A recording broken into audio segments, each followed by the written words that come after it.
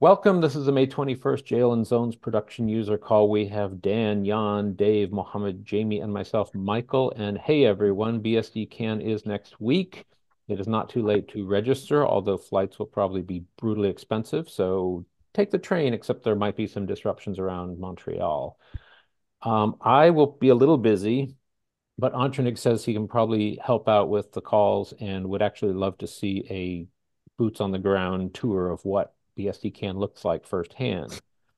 Uh, Jan, you just noticed that Jamie has tickled the uh, jail descriptors review. Is that uh, in response to feedback or something new? Just catching up. Number? Go ahead. Just catching up with the uh, library changes in FreeBSD that uh, it wasn't compiling in current anymore because of the uh, libsys stuff. So nothing, nothing new in the actual code, just making it work. Cool. Ah, cool. So I can pull this back into my builds again. Great. Thank yes. you. So it sounds like Dave, you gave it a go. Not with the new, not with the new stuff. No, it stopped okay. for a while. Yep. Cool. I'll send you a picture from the Kiwi tomorrow. There he is. Uh, oh, cool. Yes. As you've asked. I showed, I didn't ask, but there is apparently a very large uh, kiwi in Yerevan, and uh, we have a kiwi on the call. Do you want to explain the history of that ever so briefly? Uh, I don't know if I can do it briefly. No. Um, um, New Zealand's um, sort of um, animal symbol is a is a kiwi, which is a relatively large flightless bird, mainly known for two things: a very long beak, but also it has the largest egg to body ratio in the world. Um, I think of, of anything. Um, they're nocturnal, so most people haven't seen one. I've had the rare privilege of seeing one in the daytime, deep in the wilderness, far away from anybody. One just ran in front of me. Um, and the word kiwi has been picked up and used in multiple things. It's become kiwi fruit when the New Zealand government decided it needed to brand what were previously called Chinese gooseberries to help in marketing. Okay. Um, and yep. it's become a colloquial name for New Zealanders everywhere, Kiwis. Yeah. Yes. Uh, we have a we have a large cascade complex in Armenia, which outside of it is a uh, museum, and inside of it is also a museum, which also brings works from like Van Gogh and similar things every once in a while. Uh, partially funded by the U.S. taxpayers. Thank you very much. Um, and we have a large kiwi, which which like it's it's bigger than my. It's like very very big. It's the size of a house practically. Sorry, the size of a car practically. And I will send a picture me standing next to it during the week. Ah, uh, okay. Very famous place of the, the Cascade. Yes. Yep. There you go. That's the our kiwi. kiwi. And that's the complex of the Cascade. Dave, are you a New Zealander? Oh, I am corrected. I believe we have two New Zealanders. Uh, go ahead, Dan uh, or Dave. You're Dave, from the island. You're a New Zealander. Yeah. I'm a I'm a real New Zealander, but Dan is an honorary New Zealander. Go Commonwealth. I immigrated to New Zealand shortly after university, and after four years there, was able to get New Zealand citizenship, and lived there from '85 to 2001. I'm not not trying to go into any of that, but just hearing Dave mention it, I, I was wondering. I, I had already never assumed he was New Zealand. The only thing that we Armenians know about New Zealand is the kiwi and that some members of System of a Down are New Zealand citizens. That that's all we know. awesome. Okay. Uh, back on track, but do interject yes. as appropriate. So, uh, Jan, what's this about Hesiod not building? Is that one of the many uh, build options? A, Let's see if I've got on the list. It's there. one of the build options. Uh, when you set it, you get an obvious build error. With Hesiod, don't get me wrong, but it looks like it may have successfully installed on 14.1 beta 2. I am running a build option survey as we speak. Um, so there's that. And welcome, Mark. Uh, if you've got a PR related to it, great. If it's been fixed in 14 by whomever believes in that code, greater yet. Mark. I'll just go with first names. It's easier. Not Mark J. Ah, there we go. Okay, so uh, what's this about sysrc-c? You feel you have either a feature request or a bug or a regression and a PR to look at. Tell the group, please.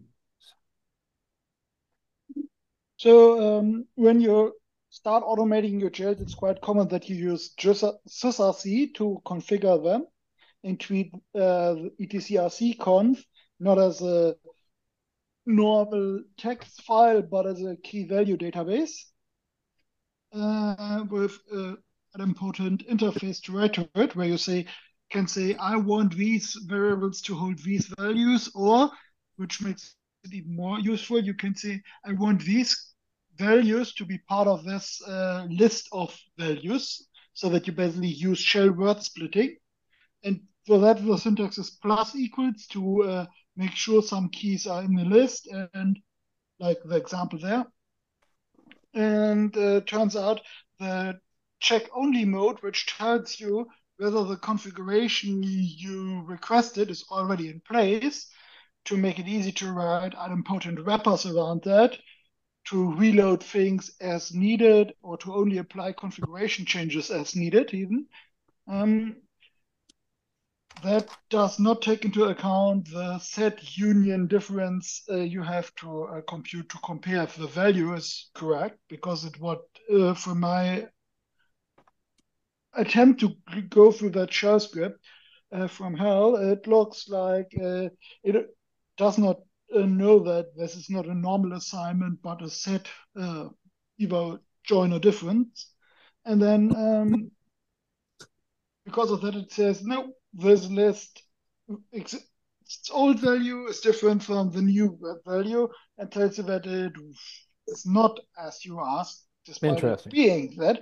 So it just doesn't understand the plus equals minus equals part of the operator. It just treats it as a normal assignment than doing the checking. Okay. That said, that's obviously you, a bug. You and Devin have taught me more about shell than anyone on Earth. Have you looked at what the fix might be? Uh, no. Okay. I only stumbled across it a few minutes ago. A few minutes ago. Okay, fair enough. now I two. Um, yeah. be, be, be, yes, before 14, J- Jailer was very heavily reliant on jail list. And I, I, I didn't, I mean, I do know about Dash C, but it never figured to me that I can do something like that. So what I ended up doing is I would get, I would get the jail list without the Dash C, and then like parse it with you know, for jail in jail list and grep, blah blah blah, and like you know something like which is a very very very bad way of doing it. I, I guess doing like dash c and the plus equals in case of dash c, meaning if that is uh contains, I think is the right term in this case, yes. right? Might be a very and it should be an easy fix because um, um, although the, the the code base is big, but it's actually very readable. There is a hack you can do in shell. You can use the shell case uh, statement uh, if you have a list like this, uh, because you do the following. You basically take the list, uh, set it to the argument vector, and then prepend and uh, append the IFS. And then you can do a basically case in um, IF, uh, star IFS, my substring IFS star, and then whether you basically do a linear match in the string instead of having to do a loop. So you take advantage of all the low-level string processing, which your shell can do much faster than looping in shell. All the And you pasted some syntax. That's your workaround? That's the reproducer for the error. A naughty one. Okay, thank you. That should just work. Oh no, that the hack in the chat, ignore that for now. That can go last.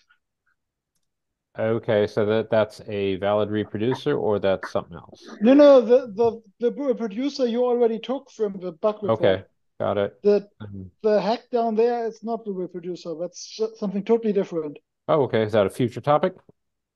Yep, but oh. one for the end. Okay. cool. Uh, Mark, do you have any topics today?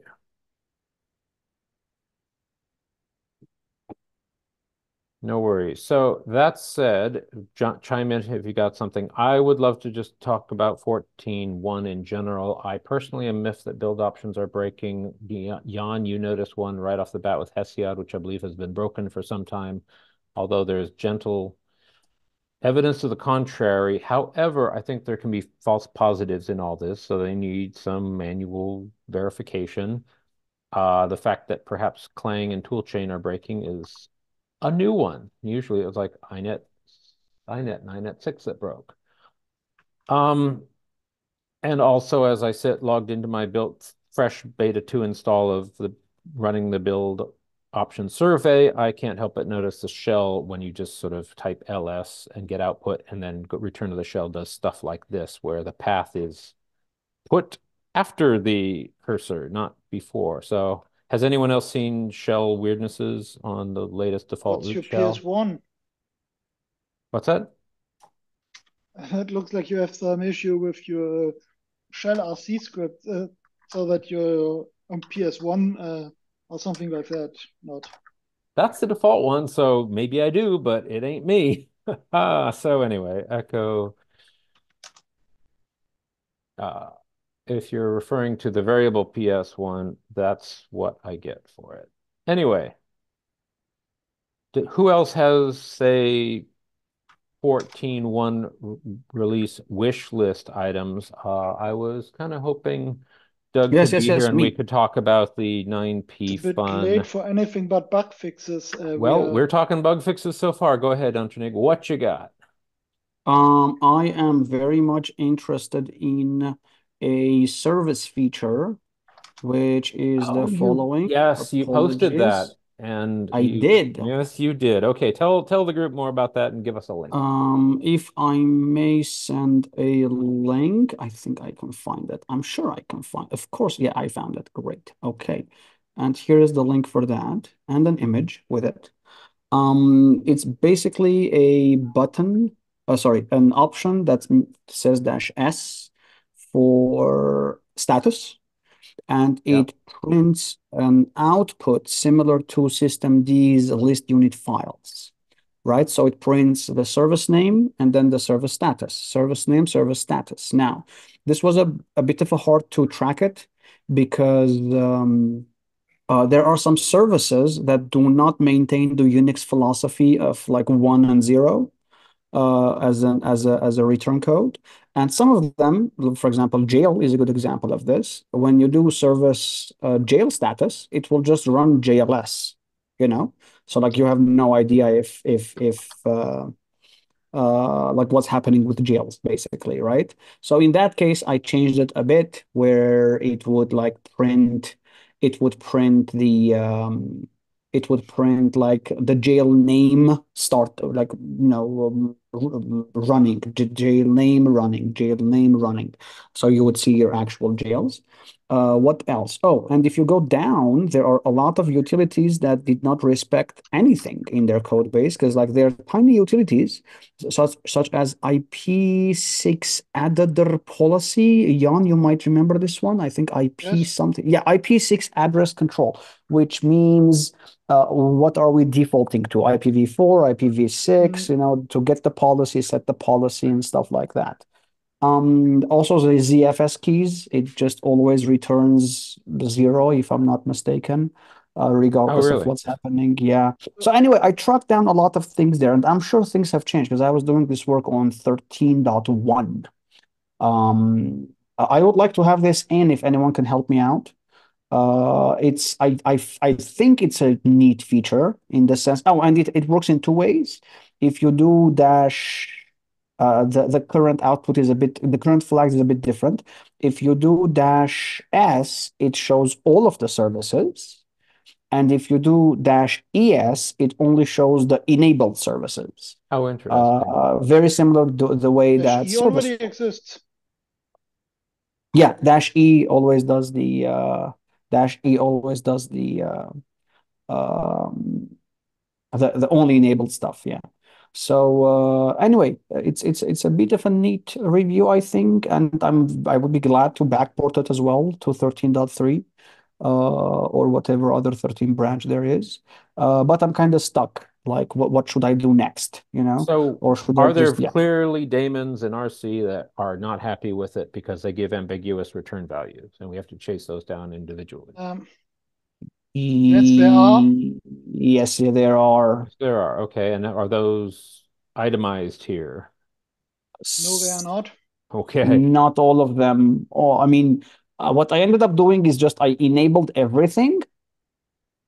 I ran it. I disabled everything, well, Okay. except whatever should be enabled, uh, to make the system up and running. And then I ran it again, and then I looked at like, oh, like um, PFCTL should have reported one because it's not running, but instead it's always reporting zero. All right, so like it is uh, well, not PFCTL, but there was something CTL in there. hmm So yeah, a, a lot of things like that. Um, yeah, I, I don't know what the deadline is for. It's uh, pretty close for features, It's too late but for that. There's always It's the next late. one and the next one and the next one and the next one. So 14.2 that said, could uh, you probably have to sit down and itemize what's broken, and those are actually unrelated bugs that happen to be related because you're trying to Exactly. this overlay to them. So And, yeah, and that's kind of a problem in the development cycle is like this is the feature that I want, but it also depends on these other things.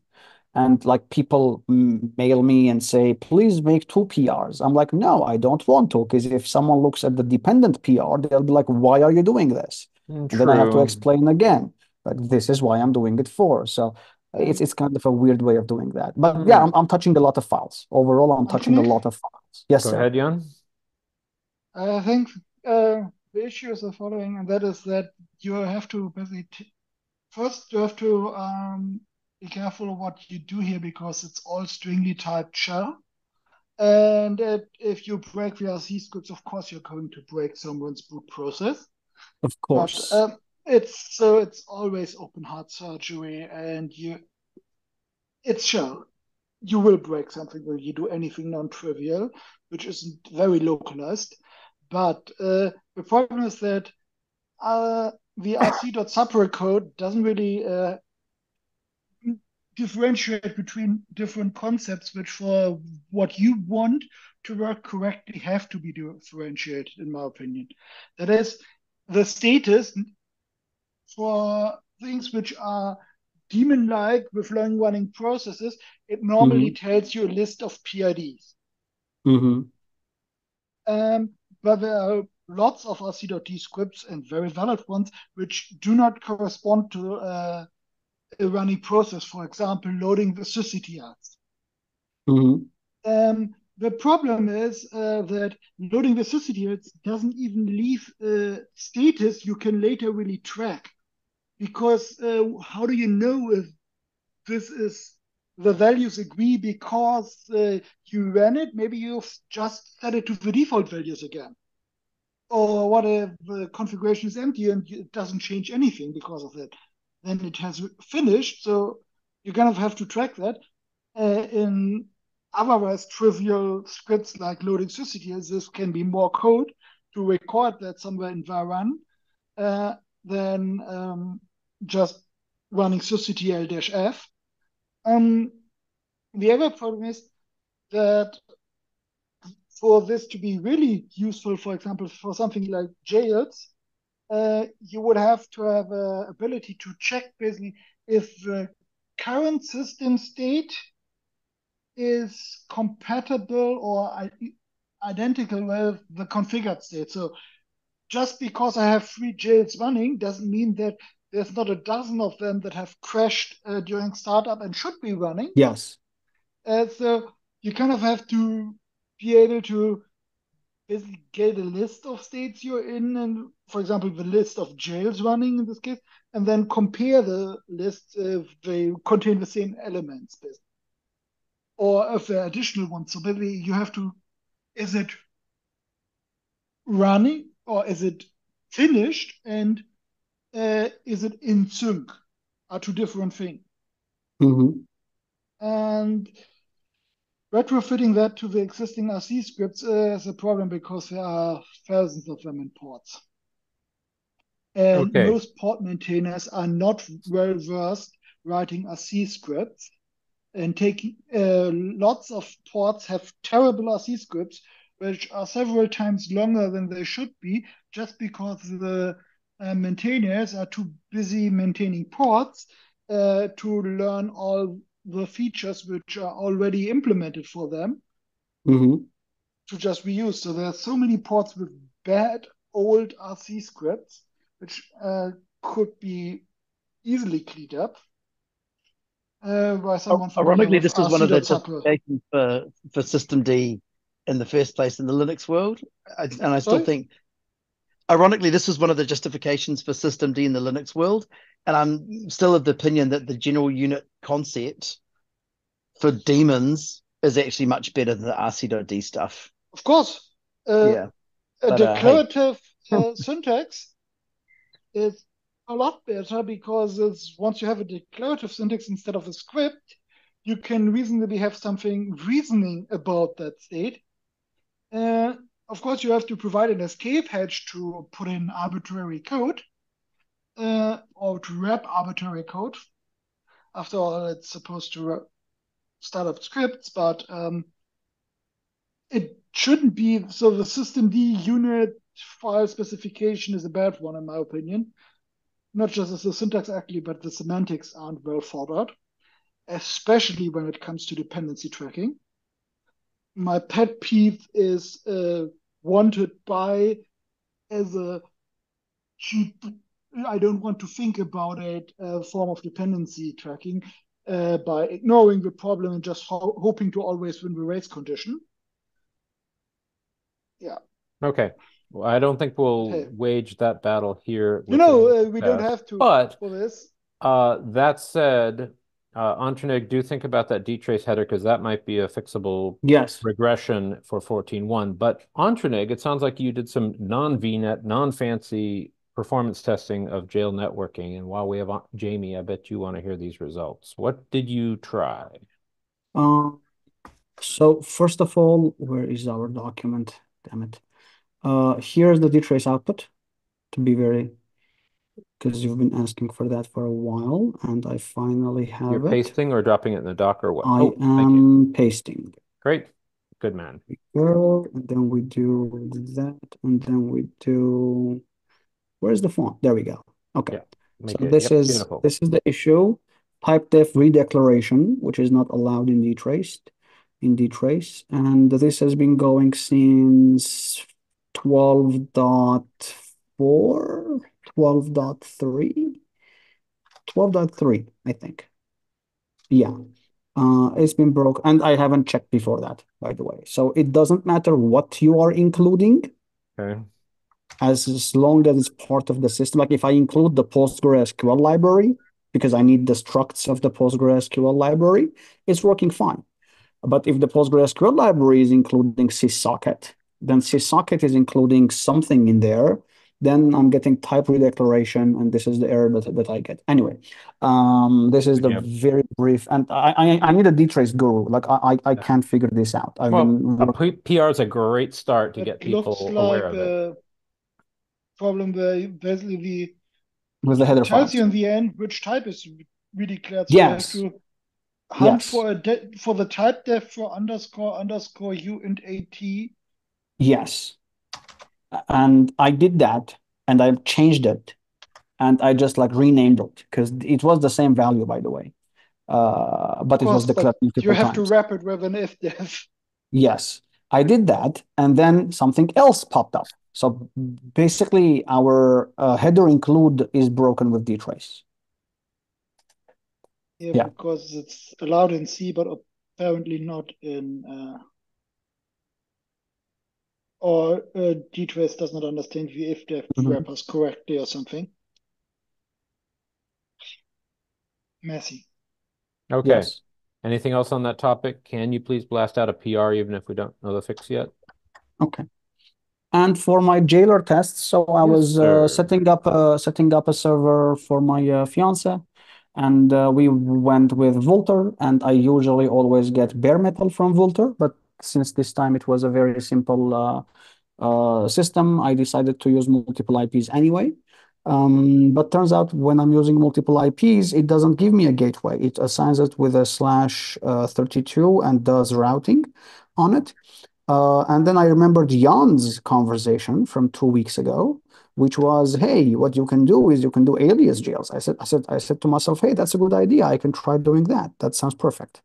So I started doing that, and the first thing that came to my mind is a speed test. And on a very tiny VM on Vultr without even a dedicated CPU, I mean, it even had a shared CPU, you know, um, I was able to achieve 30 gigabit a second. Um, Small VM or jail? VM, VM with a VM. shared CPU. Yes. Okay. Uh, which was very, very impressive. And I posted that on, um, what's his name? I posted that on Reddit. Uh, Reddit. Mm-hmm. Yes. And someone came with the results of a uh, Podman uh, on Linux, which was much bigger. It was around 100 gigabit a second. Um, and uh, I kind of got uh, sad that we don't have that. So I tried again, this time on bare metal with um, bare metal with uh, what's its name, uh, alias jails, and I was able to reach 60. So it's basically uh, CPU and uh, CPU and memory bound as far as I can tell. And yes, indeed, alias jails are good compared to ePair Bridge. I think I will be moving a lot of customers to that. So, so this was just um, iPerf, iPerf 3 or this is just iPerf 3. This is just iPerf 3. Uh, there is a um, link in Reddit. I'll send it right now. I'm trying to find it uh, right now. Yes. When you say small VM, it's a small Vultr VM with a jail in it, just to be clear for all the listeners. Uh, a small virtual uh, Vultr VM with two jails in it. Yes, Thank and. I'm okay. doing the test between a jail and a jail. Okay, go ahead, Dave. Yeah. So, so the thing with iPerf 3 is you rapidly run into it's not multi. I think it's not multi-core um, so you have to run multiple instances to test um, where they're getting more traffic. Um, and I guess in your case, if it's alias jails, it's really just going, it's a loopback, isn't it? Yes. Yes. Did yeah. you bump up the p value for parallel streams and such in iPerf? That's not the way to go. That's not it? yes, that can give you artificial big numbers. That's not the relevant metric. what would you use? Go for it. For a simple test like this, the question, how fast is a single TCP connection? It doesn't help if you spin up multiple TCP connections. You're measuring something different. And Fair the other part is if you have a little one or two core CPU spinning up 10 uh, iPerf processes, will not give you a bit uh, an improved aggregate bandwidth because now you have context switching overhead. so the it may be a realistic benchmark uh, for other things, but just numbers go up is not the goal here. You can't just, oh, I don't like the test result, let's change the test. That's not valid benchmarking.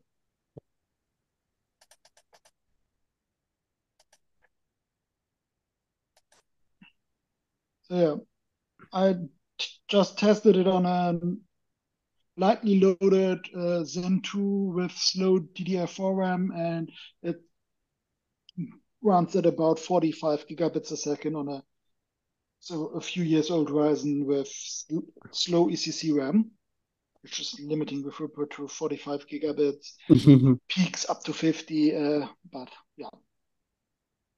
But overall, I mean, um, the, the reason why I like um, uh, VNet jails is because uh, uh, pieces of software like iPerf itself expects things like 127001, right?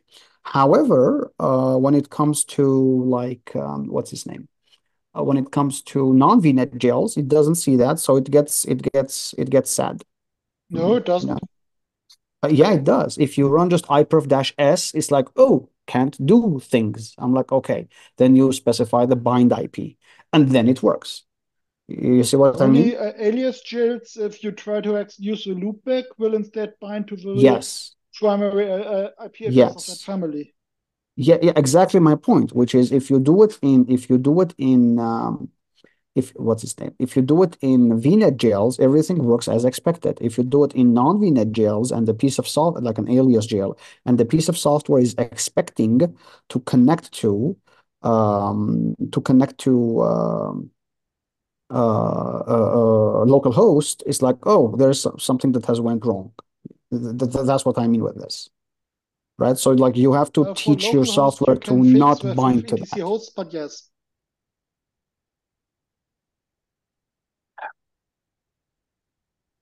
Would the have there been any efforts to create a lightweight fake loopback device for jails? Well, that's could that be VNet. done? Well, li- lightweight, I guess, but no, it's not lightweight if you're seeing these performance issues. What what performance would you see under VNet, just for our audience? Um, I've I've I've never been able to get more than like seven or six, six or seven. Uh, depends on what kind of networking you're doing. Uh, if you use SRIOV with uh, IOV-CTL and a dedica- and a proper Hmm. NIC, you can run at full line rate without a problem. Um, similar to our bhyve PCIe pass-through, just without the pass-through part. Uh, You mean that's going from um, one VNet SRIOV to another VNet SRIOV on the on a same physical box, but it has it's forced to go through the adapter, isn't it? It's supposed to go through the Yes hardware and no, it depends on some No? adapters where reports that you can uh, basically between virtual functions you can exceed line rate on some adapters Uh-huh. because it never goes through the foo. So uh, there is basically the internal switch can run faster on those cards, but of course it's in, it involves an interaction, but it can at least do line rate. Is Uh, that documented adequately somewhere? Mm, I don't think it's, it's adequately documented because an adequate uh, documentation would state the gotchas per NIC driver and release. Uh, what has basically you would need someone running continuous regression tests on actual hardware, which is a problem because you would need a regression test lab environment and not just users getting frustrated after a new release with regressions. But yeah, it's a problem. Um, you can't virtualize this stuff. You need actual hardware, and that costs money and Mm. power and space and Yep. yeah, Uh, time. And, I think now I have all all the hardware. Um, maybe not perfect hardware, but I think I have all the stuff necessary for this. I've got um, yeah, I've got enough hardware to do this now. I, I would really like us to find some situation where we can test this that isn't just iPerf 3. Um, so one of the things I've got is um, so, sort of the, the largest set of data I've got that I use in, in, in production is um, a few hundred gigs of CouchDB data, and it does a synchronization between nodes over HTTP, um, HTTP 1.1 pipeline connections with parallel threads. And I've never yet found that to be an actual limitation on the network. Uh, it's always been limitations somewhere else. But we need to find something like this that's related to real world multi-stream, multi-core um, Mhm. transfer um, that we can use as a as a test case. Uh, yeah, it'd be really good to see that. and you need different use cases from static file serving with Nginx uh, to uh, an NFS server to uh, just artificial Mhm. network benchmarks to routing tests and so on.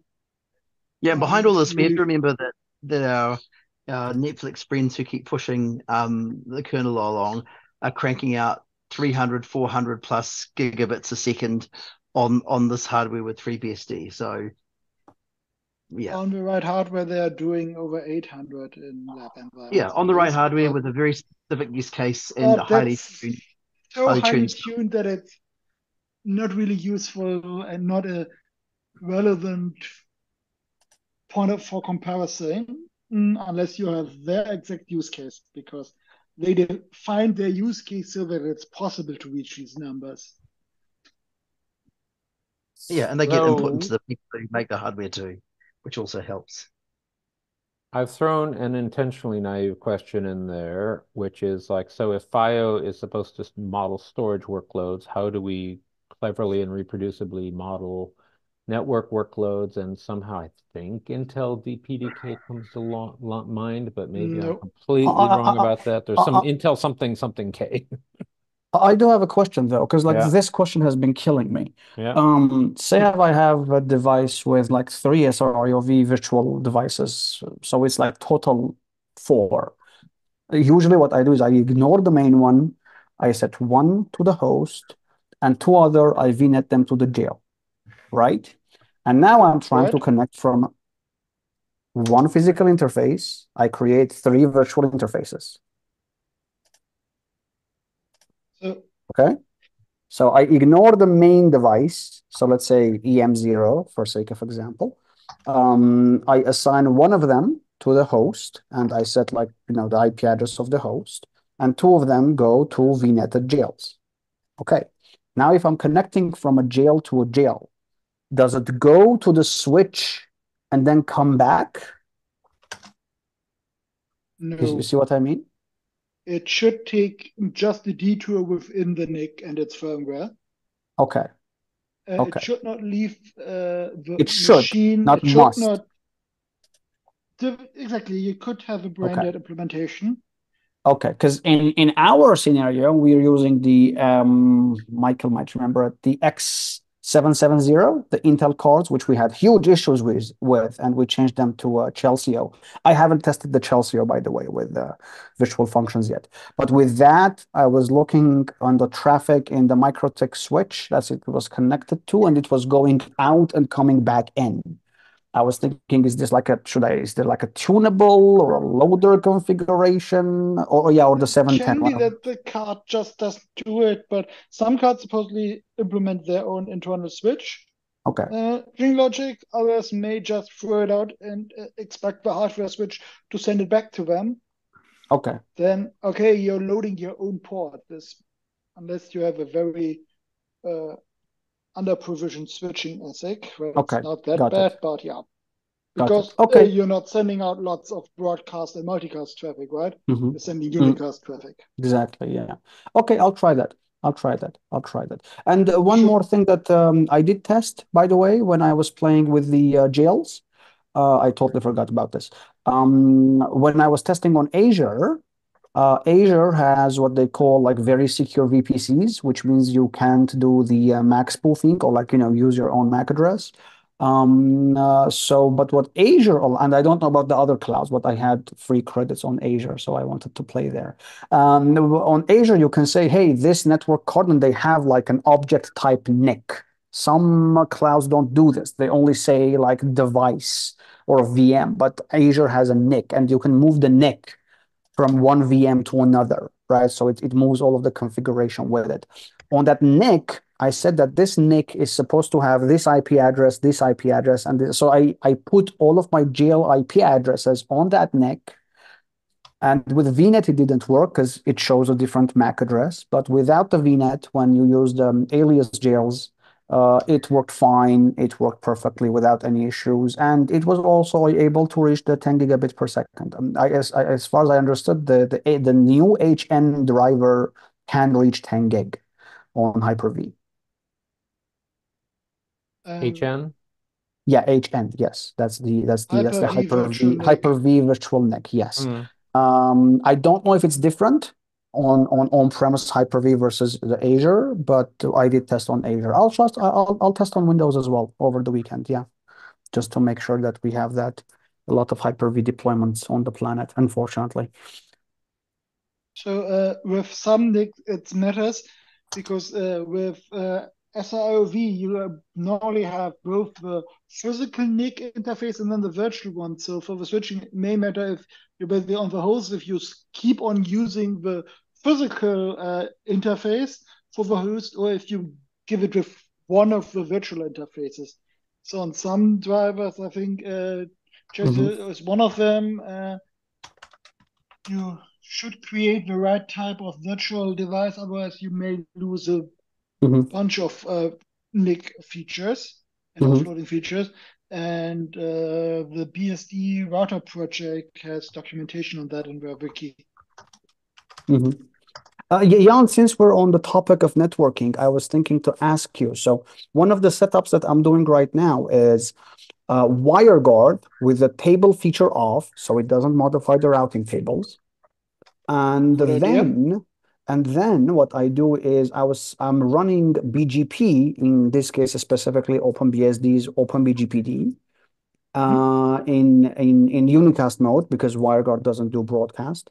BGP is always Um, unicast. is- Yeah, yeah, exactly. Uh, and and then that's it. And now I have all of the routing tables available, and um, the only thing left beneath it was setting that to allow everything between all of the WireGuard instances because, you know, if one of the devices is down, it might route differently. So I don't want the ra or WireGuard config to disallow that, so to say. Um, is does that make sense, or should I? It makes a lot of sense. What you can Okay. do is the easy way uh, is to just configure your WireGuard uh, interfaces as true point-to-point interfaces so that each interface has only a single peer and allow IP list is set to Okay. zero slash zero and colon colon slash zero Mhm. so that the crypto uh, routing layer inside the WireGuard interface is effectively disabled because Mhm. all IP addresses are always routed to the one peer on that interface. If Mhm. you want to do a point to multi-point, you would have to do some hackery uh, to uh, take a look at the routing information base, look up the uh, next hop IP address on the WireGuard interface, and then find all the um, indirect routes through that next hop and put them in the allowed IPs, and then only should you uh, update it. So with something like Bird 2, you may be able to do that, um, but it would be Got it. annoying Yes. to maintain Okay. this basically uh, next hop to public key peer mapping. hmm And unless you have hundreds of peers, I wouldn't bother. I would just create Yes. interfaces, give them reasonable names, and call it a day. Yeah, I was I was also one. I mean, this it's kind of FreeBSD, but does anyone know if OpenBGPD works on macOS? It would be ni dope if I can have, yeah, if I can have OpenBGPD running on my laptop. Then when I VPN, I can just set the routes with BGP, and then finally I can uh, like all of my local VMs would appear to other parts in, of my infrastructure when I'm using Tailscale or WireGuard, you know, because th that sounds also very interesting.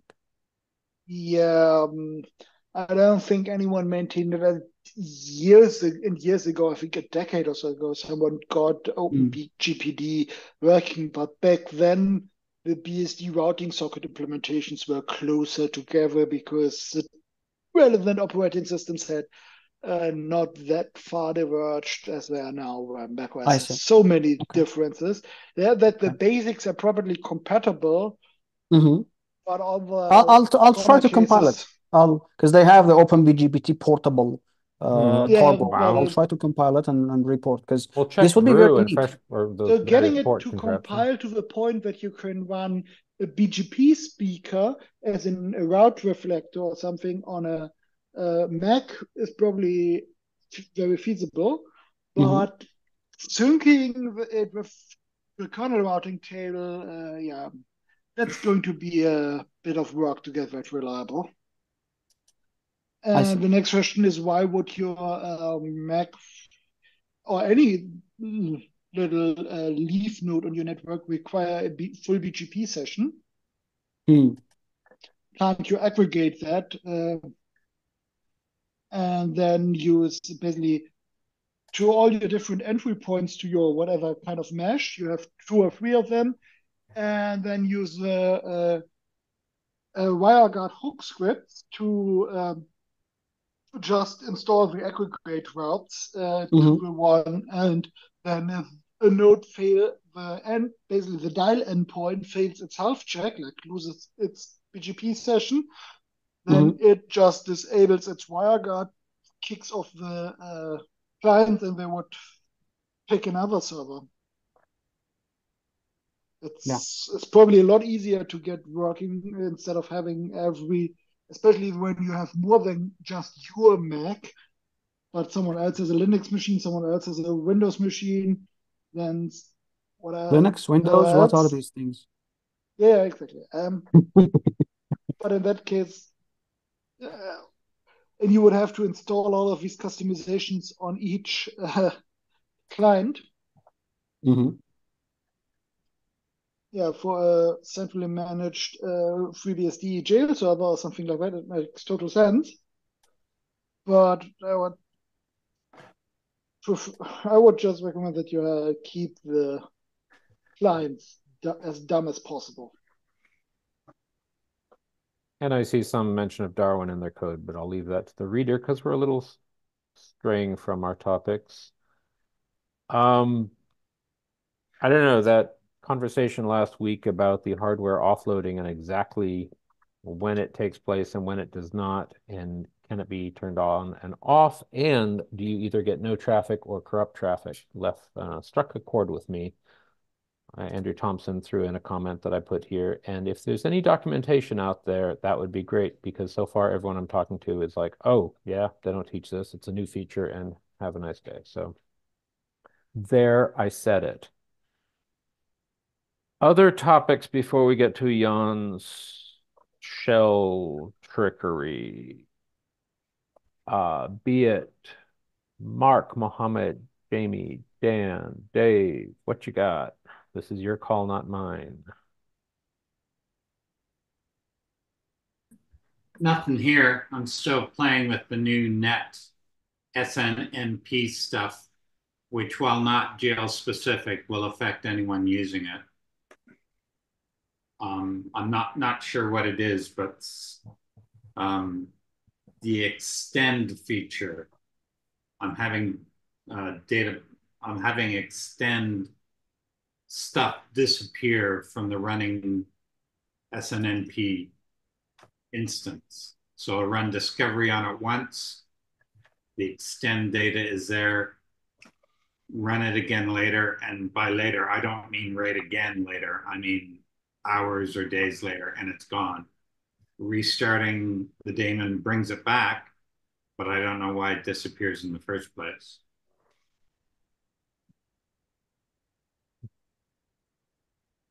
Uh, is that something you've that's worthy of a PR and have you filed it or you're still uh yeah I'm talking there's no PR but I'm talking with the maintainer and the person that did the upgrade already. Excellent.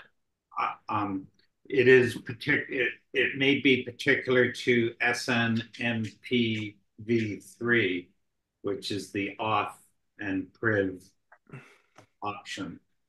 Um, I have no evidence that it, it applies SN, SNMP V1 or V2 because I'm not using it, but it definitely affects V3. Ah, yeah, Mark, it sounds like you have to go, but hey, if it's obvious towards the end of the calls of the calls, they can get a little off topic, but it's all good stuff because it's all eventually interrelated. So if you do have something quick that's just biting at you, let us know. If not, we will see what Jan has up his sleeve. So nothing, Mark? Okay. Jan, let her rip. What you got?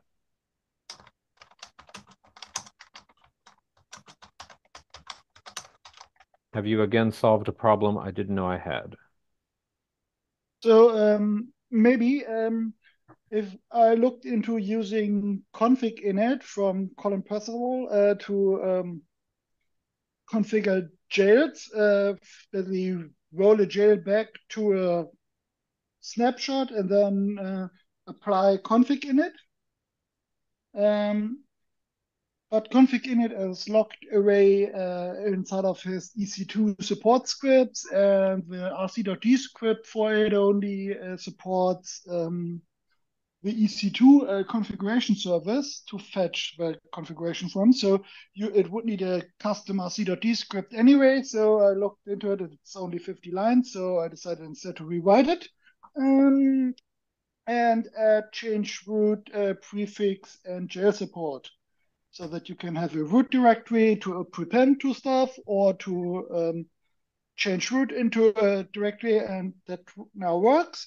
And one of the things I wanted to do is inside the jail to then uh, basically have a file to specify what should be configured via sysrc. And uh, it was a bit annoying to write that as a shell script, and um, uh, not at all. Um, so we um, instead of what I did is I used uh, the env command to split the um, interpreter and its arguments, like it used to be in FreeBSD 8, but it's no longer because everyone else doesn't split the arguments here, but passes all the arguments as the second argument, and then the third is basically the path. So what this does is use env to split the sh command uh, to then have in the shebang line the embedded shell script to slurp in this file, which is normally the source code for the script, and feed it into uh, sysrc. So that you have a one-liner you put on top of it, and then afterwards just um, sysrc lines. So, so, what was this for, Jan? I, I missed the bit where um, um, what is so the problem I can that I have a file which if I is executable. Uh, I executed it and it applies this ch these changes with sysrc like in shell script, but that is easier to auto-generate because uh, basically the sysrc arguments and the shell code is split up into the first line and then the data. All right. Okay. So it's it's um have an executable thing that applies changes that look just like they would in the script, and it should do the right thing for us. Yes. So what it does is basically the first thing is uh, redirect standard in to the source code for the script. That's the exec yeah. part here. Exec with no arguments is just for redirect. Then read one line to discard it. Empty the command line argument list. Uh, read lines while there are lines and append them to the argument list when it's done, it checks if the last line was incomplete, so lacking a new line. Uh, if so, it also adds that. And then it just execs with dollar $add uh, into sysrc. It's a bit naughty to put all of that in this place, but the advantage is that now basically the yeah the parser and the uh, data are split, and that can just work like a shell script now. But basically, a, yeah, um, interpreter is a shell script. Sorry for cutting your conversation. Does anyone remember where do we have the Poudriere reports that we run on pkg.freebsd.org for the packages that are not compiling or anything like that? There's two places. The easiest is to look on fresh Freshports Thank you, Dan. Um, which is an overview. And if you want to look at the really dirty details, there's a bunch of servers called Beefy, and um, you kind of need to know which Beefy you're looking for. Um, I will find a document that references these and, and send it to you. But start yeah, with fresh. Uh, you need. We, we, we, used to get we used to get reports right as part of the Erlang team if Erlang is not compiling or Elixir or anything like that but I, I, I don't remember getting these reports anymore. No, because we I fixed them, I guess. there shouldn't oh. be any like or that. if it doesn't work, and uh, like in a day later, I know because I can't compile something and I get annoyed. Yeah. yeah. Um, those come to um, package fallouts and they turn up on the Erlang at previously list, but mm-hmm. um, there haven't been any for a while. Mm, yeah, I typically happens we'll get a we'll get a a few when OTP twenty seven lands because mm-hmm. I don't have all the hardware to test it on. But but now mm-hmm. I test mm-hmm. on like AMD um, sixty four and ARM sixty four, and that covers most things mm-hmm. anyway. So I see. yeah, I see. Okay, well, on Freshports, because my students are texting me, Plasma 6, Plasma Desktop. I First of all, they're amazed. They're like, oh, FreeBSD already has KDE 6. I'm like, yes, I don't know who's spreading the myth that our packages are outdated. They are not. Uh, they just don't change from quarterly to latest, and then they start complaining, you know? There's a been a new version of Elixir that's been out for over a day, and I haven't committed it yet. It's appalling. We're so far Over a behind. day. Oh my God. Over a day. Can you believe this? Uh, okay, okay, that sounds good. Okay, I'll have a look because apparently KDE 6, the desktop, is not working on AMD 64 according to Freshports. Uh, maybe something got broken there. And I have no idea how to check any of this, but I'll, I'll figure it out.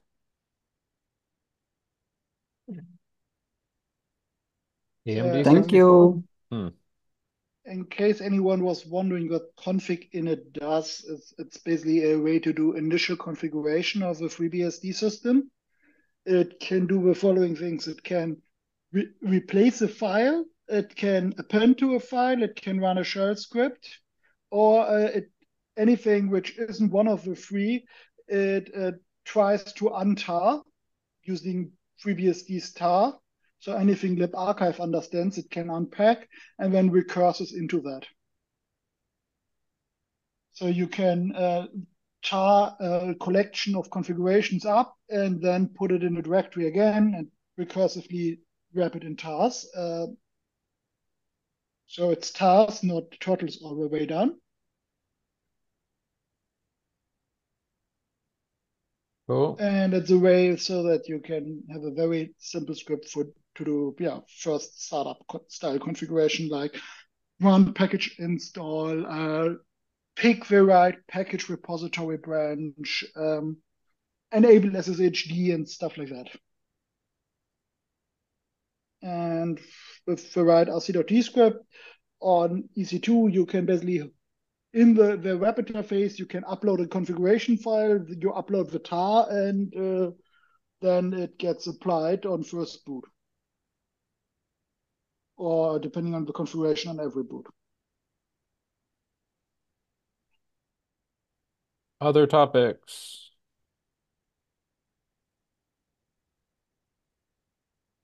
Nope, that's the wrong spot. What you got, people? Um, I guess not not much else. Oh yeah, my my my my, my migration process. Sorry, my updating week got delayed to this week Oh, because right, scientists. kicking Yeah, off from last able to play week. Yeah, because scientists are like, we have long running jobs. We have to do it over the weekend. I said, Hmm. okay, fine. I'll just do it next week. Um, so yeah, I, I'll I'll do I'll keep doing that and let you know how all of that go. And yeah, Jan, I'll also try the um, Intel 710 X710 with SR-IOV, see how that works too. But I'm honestly still impressed with the Alias jail speeds. Like it's it's it's it's uh, uh, for for for clusters and such. It's it it looks and sounds amazing, and uh, specifically for scientific purposes, when like they're moving a lot of files back and forth, it it sounds very interesting. Uh, has Uh, that changed in 24 years? Sorry, man, but you know, The only thing Yeah. now is petabytes are not as big as they used to be. Yeah. The what? Pe- petabytes are not as big as they used to be. People's Right, yeah. expectations, exactly. how long it takes Yeah. to skip a petabyte has dropped. Yeah. Um, if you do the SR-IOV stuff, I, I'd love to know. I've got some SR-IOV capable hardware, but never really knew what I would use it for. I mean, I know what I'd use it for, but never really got off the ground of going, okay, this is how you set it up. So Okay. So, And I would d- d- d- d- d- Dave, are you still renting or do you own that? I I, I own. I've, so I've got I've got both. So I've got Okay. stuff I own in the cellar, which I've had for I don't know four or five years at least. Um, Mm-hmm. and I have um access to some E810 uh Okay. Intel NICs as well, but I think they only got up to 25 gigs. Okay. Uh, Oh, Yeah. uh, Michael, if you go to my blog on tronicv.am, I totally forgot about this. I blogged about it, I think, over the weekend during the conference. Um, it's about bare metal FreeBSD on Vultr. I totally forgot about this. Um, so let me see. I, I'm sure. Is my blog down because I was doing updates? No, it's not. Okay, we're it. good. No, it's there. Okay. So, I uh, already dropped your link in the beginning. Oh, Oh, really? Okay. it.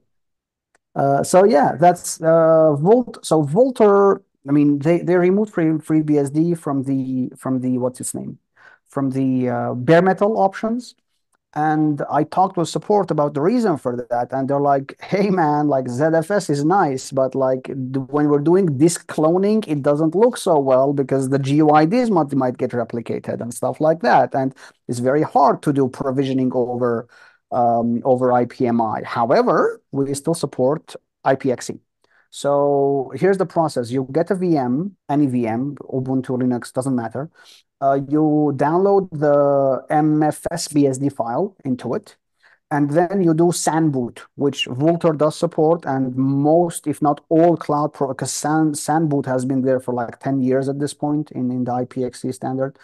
Uh, you just put the you put, just put the link of, of of the file, and then it boots, and everything is fine. You log in with MFS root, MFS root, yes, MFS root, and the rest is BSD install. It brings the very familiar installation process, and you can continue from there. MFS. Um, Hang, MFS. I'm, I'm trying. My computer Okay. slow. Sorry. It's okay. One of the Um, things you may be able to improve is to use HTTP boot. HTTP. It, it, Oh, what do you mean? you're already doing I, that to iPXE fetch the image. supports HTTP boot, so you can. No, no, th- th- this is doing stuff over. HTTP.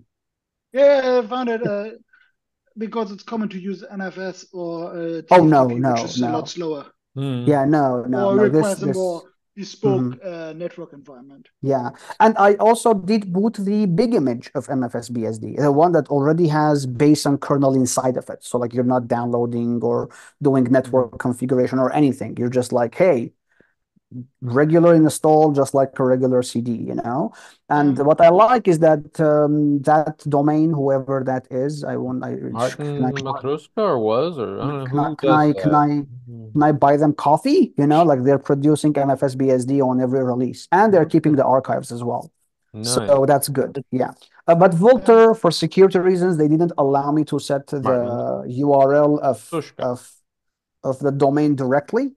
Like I couldn't do SAN boot from mfsbsd.vx.sk.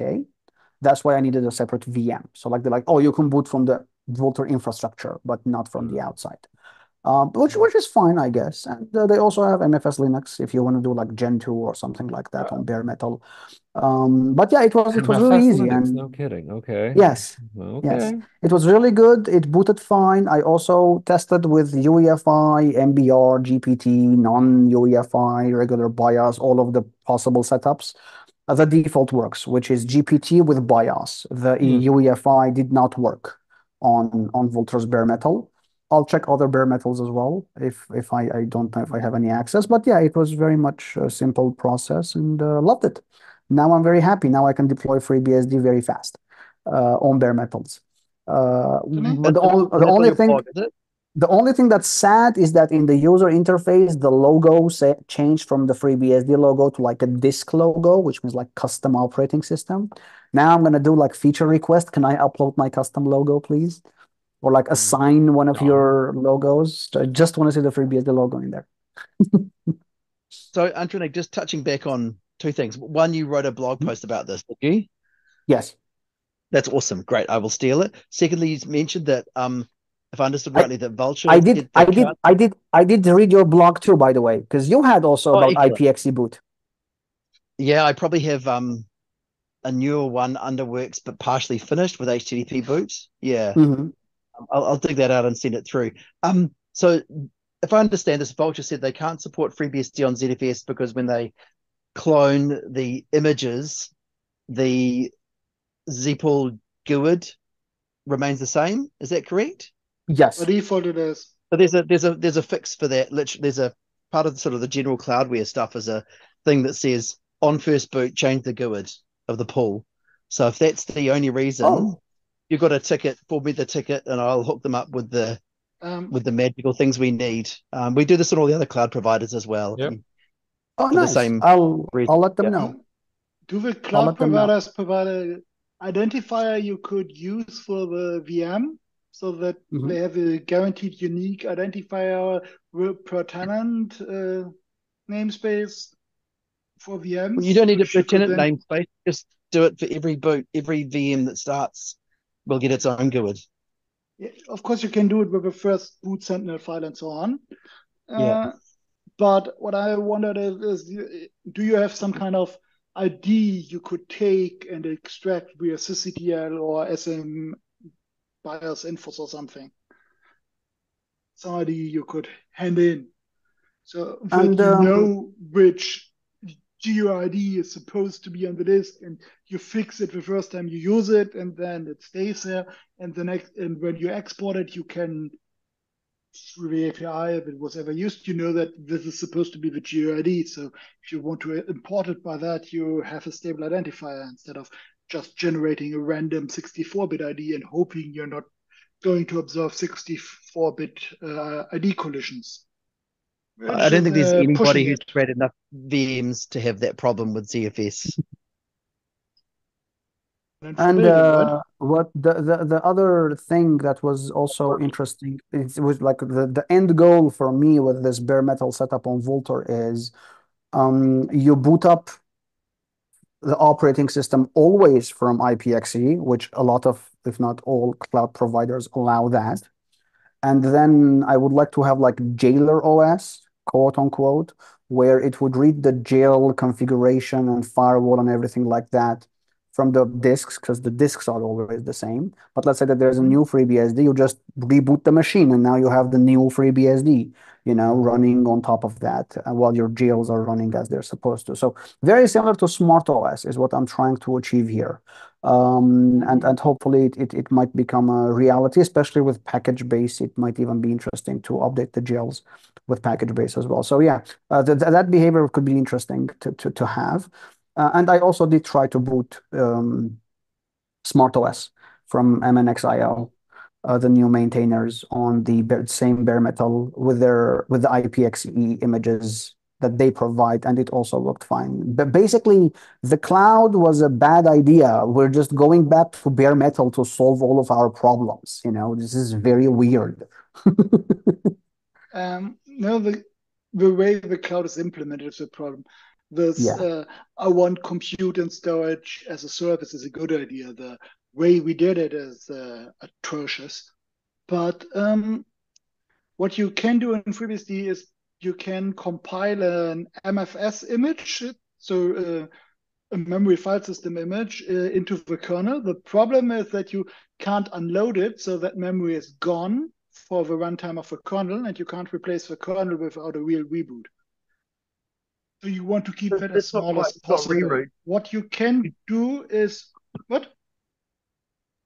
So we have you reroute. re- So you're right. The memory is lost, but we can reroute. So you might lose 100 megs of memory, maybe a bit more, maybe a couple of hundred. You can keep depends it on even smaller.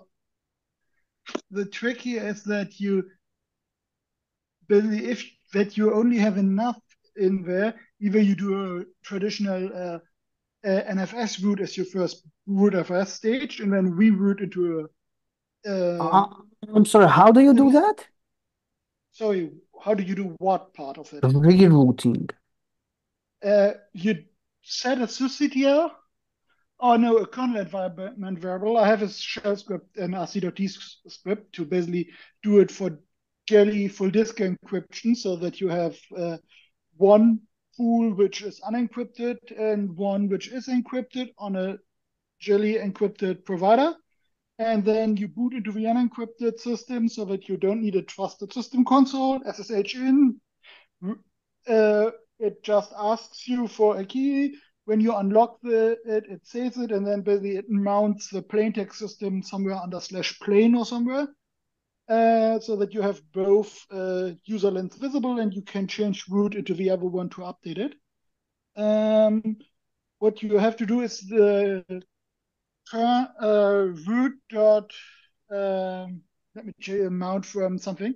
There's a kernel environment variable where basically the kernel looks up its uh, root file system and you change that kernel environment variable and then do a reboot dash r which basically uh, kills all userland processes Okay. and mounts all file systems, including the root file system. But instead Okay. of rebooting or shutting down, the kernel looks for a new root file system according to the current Ah. value of this envi- kernel environment. Is variable, is that the mounts um, it, starts a new init. Uh, yeah, um what was that uh, VFS VFS root mount root mount? Yeah, yeah, yeah, yeah. Oh, okay. Mhm. Oh, that's interesting. The That's annoying not part is that you but, can't but, but same kernel, right? Same kernel, same different. kernel. Okay. You can change everything but the kernel. You can load and unload kernel modules if they're unloadable. Why didn't I know about this? Because now I can be happy for using Supermicro, which boot takes around 15 minutes. You know, I don't have to wait for post anymore. Uh, if it takes 15 minutes, you probably want to disable a bunch of option ROMs.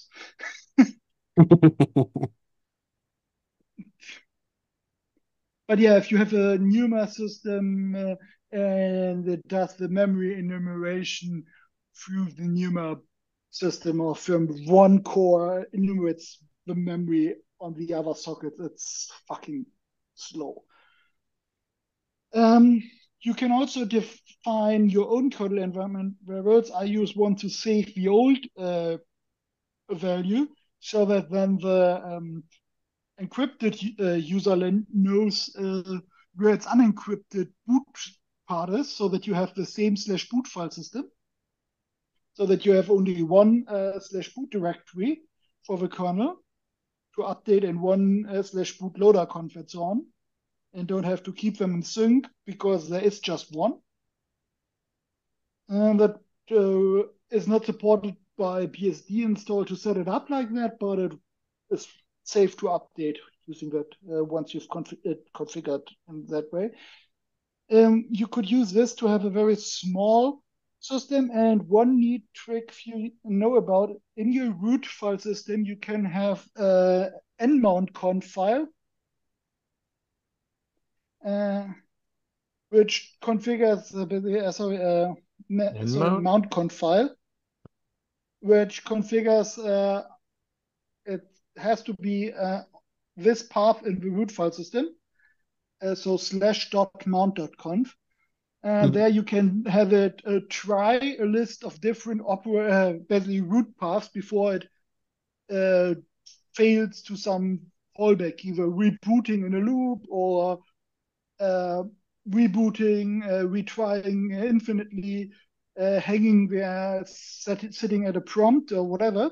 So you can have a sequence where you basically try this first, and if this doesn't work, do something else, so that you get to a fallback userland where you can then, or that you can have something like try the is an upgrade for this machine scheduled first, and then yeah, it's been there for a few years. I think it came in with 9.0 or something, and yeah. Yep. And yep. Hmm. You can also use this to have the kernel uh, create MD devices from files in the current root file system to use as the next root file system. So basically, you can use the boot file system and have in there a, a ZSTD compressed image of a read-only file system, have geom uzip loaded, and use the geom. Which can keep memory footprint down because you get to use that STD compression. Yeah, it's uh, there are a bunch of things you can do. Uh, the one thing you can't do is without doing a real reboot, replace the kernel. Hmm. So no uh, kernel upgrades for you, no no up kernel updates which cannot be done by just unloading and reloading loading kernel modules. Mm. It would be nice if you could, in some way, uh, protect the tmpfs, then, uh, but during rerouting you lose by uh, the the moment you unmount the tmpfs, it's gone. You cannot reroute into a tmpfs or through a tmpfs. You have to use a the old-fashioned way with an MD device but yeah, that, other than that, it's totally possible. The uh, latest or second to latest uh, FreeBSD journal also has an article on SR-IOV. Oh, really? Oh, good to know. Okay. Yep. Uh, but um, other than that, yeah. hmm.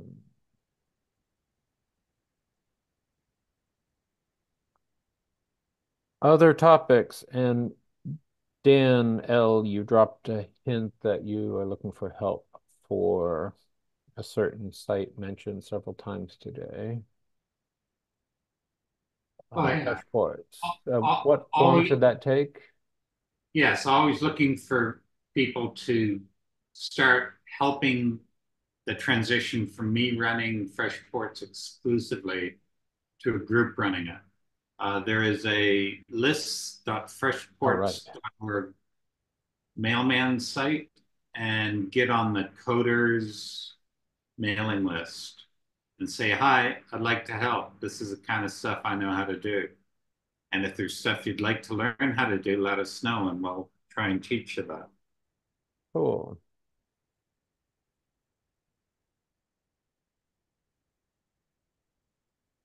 Jan, I'm trying to find that journal article if you happen to have it.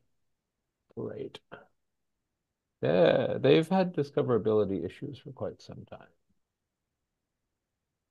Let's see. Other topics, questions, you name it.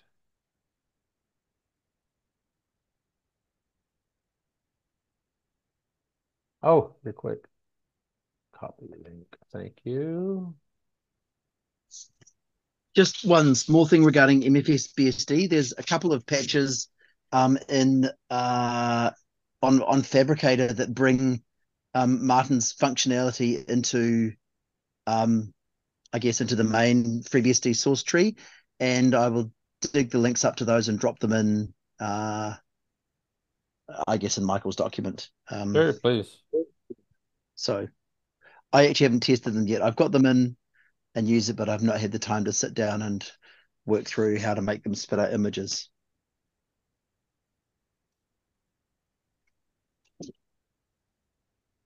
Thank you for that link to the article. It's now in context.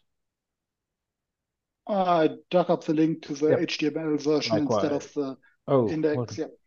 what do I have? PDF or I don't know. Let's see. It is hopefully HTML and discoverable. I hope the robots.txt keep the world from seeing it. Hmm? Cool. Mellanox Connect X4, Chelsio, X710DA. Here we go. It's, uh, that's that's the usual suspects. Great. Antranik, you've seen that? Check it out. And because you're not passing through with virtual devices, none of the IOMMU troubles should trigger, because the IMO uh, MMU doesn't have to be used uh, between virtual functions on the same kernel, basically. At least it shouldn't have be used, so that uh, then maybe it works without issues even on the problematic Chrome boards. This thing. so- There. Cool. Okay. Anything else, or shall we call it? Called. Called. Awesome. Antranik, you want do you want to do the honors? Like, did we lose him?